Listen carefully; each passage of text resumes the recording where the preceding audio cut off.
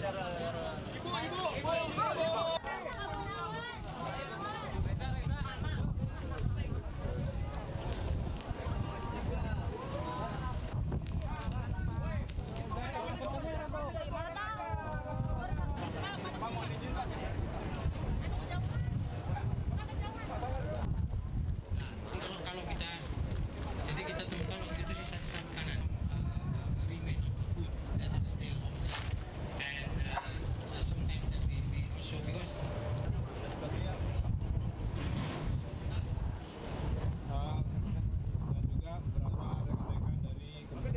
9 ini terdiri dari eh, 9 ini ya merupakan impor yang dilakukan oleh PT HI ya. Mereka mengimpor sebanyak 102 kontainer totalnya.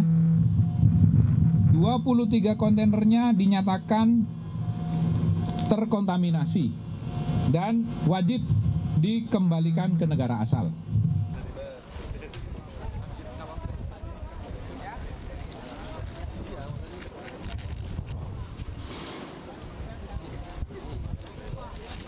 Jadi rekan-rekan, eh, sekali lagi saya ingin sampaikan total yang mesti harus direekspor adalah 331 ditambah 216.